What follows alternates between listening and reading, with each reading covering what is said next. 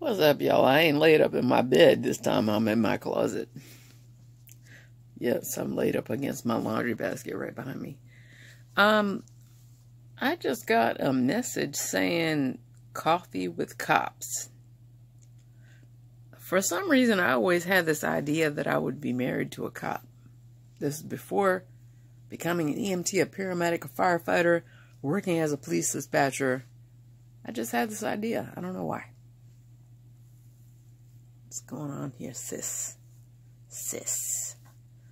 Anyway, um, apparently they're meeting up at this local uh, bagel shop. Um, it ain't even one that I know, know of. I gotta figure out where the address is, but I'm thinking about going because I love me some some law enforcement folks. I love me some cops. They don't love me back, but uh, yeah, that part. Uh, I think I dated a cop. I was 21, he was 35. Claimed he was going through a divorce, living with a roommate. Yeah. Uh, borrowed $80 from me. Left a couple CDs at my house.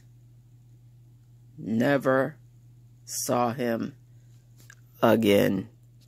He came in the back of my ambulance to give me his card with his name, which I'm not going to put out there on blast, but yeah. Bro, you know you were wrong. Uh, 14 years older than me, I did handcuff him underneath the stairs. Not gonna lie. I had a set of stairs that had spaces between them when you went up in my townhouse back in the day. It's a long time ago, y'all, back in the late 90s. Um, I handcuffed a cop and uh, had my way with him. I'm going to leave it at that. Yep, I'm one of them girls.